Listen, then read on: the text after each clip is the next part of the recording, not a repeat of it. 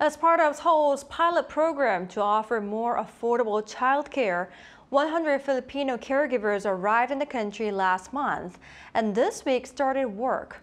Our economics correspondent Moon has the details. Last month, 100 Filipino women landed at Incheon Airport as part of the government's efforts to address the demographic time bomb.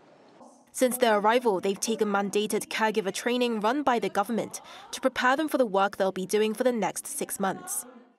The competition to be selected to employ their services was fierce, with 731 South Korean households applying and only 157 selected.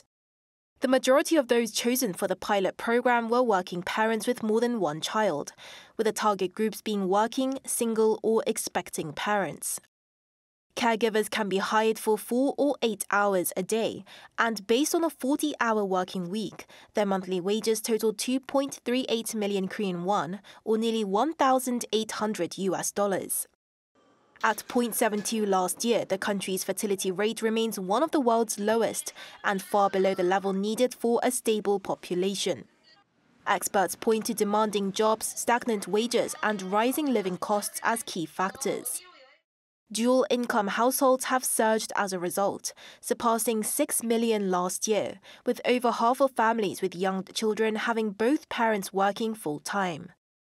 But despite growing demand for childcare services, the government says there's a shortage and existing options are too costly. This pilot program aims to tackle this issue, but $1,800 per month is no small sum for the average parent in South Korea and is being seen as one of the reasons why many households that applied and were selected for the pilot program were located in the capital's wealthier areas.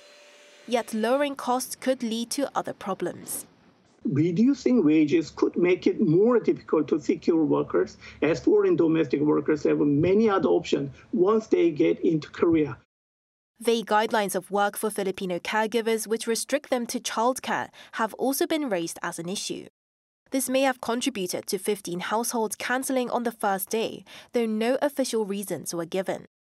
However, experts note that as a pilot program, it offers a chance to improve and could serve as a model for addressing broader demographic issues.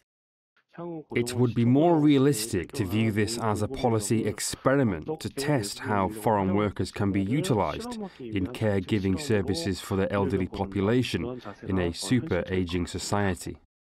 The government plans to bring in up to 1,000 caregivers by 2028 if this pilot takes off, but discussions are still underway. Moon Hye-ryeon, Arirang News.